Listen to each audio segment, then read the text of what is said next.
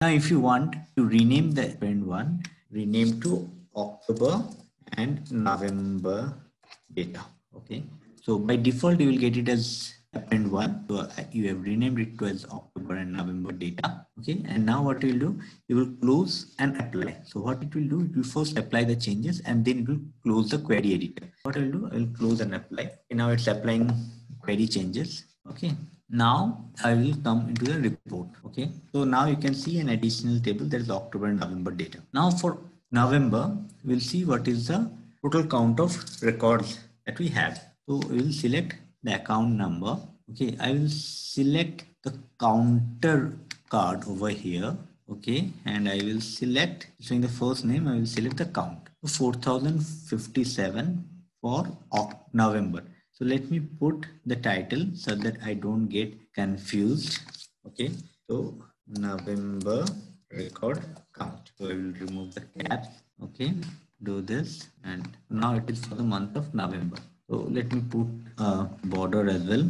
Okay. So this is, and I don't want this count of account customer to appear here. So I will put the category as off. Okay.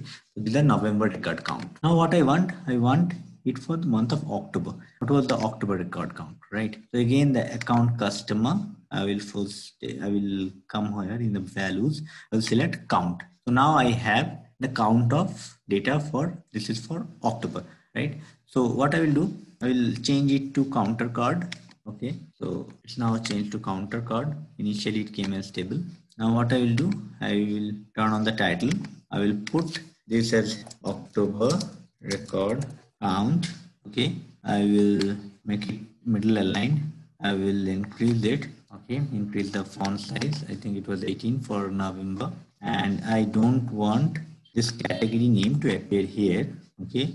And i want a border for this thing as well. So now this is october record count. This is november record count. Now i want to see the combined record count just to ensure that i have taken the right i have merged or appended the data correctly no data has been missed out out of this. So now I will take this values. I will change it to count. I will change it to uh, counter card. Okay. I will now put it beside adjacent to the other two counters. Okay. I will keep the title on. Okay. File data count. I will increase the font size to 18 as I did it for the other two case okay uh, i will remove the category.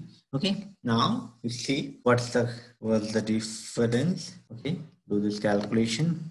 4057 plus 3973 8030 so all my records have been successfully appended. Okay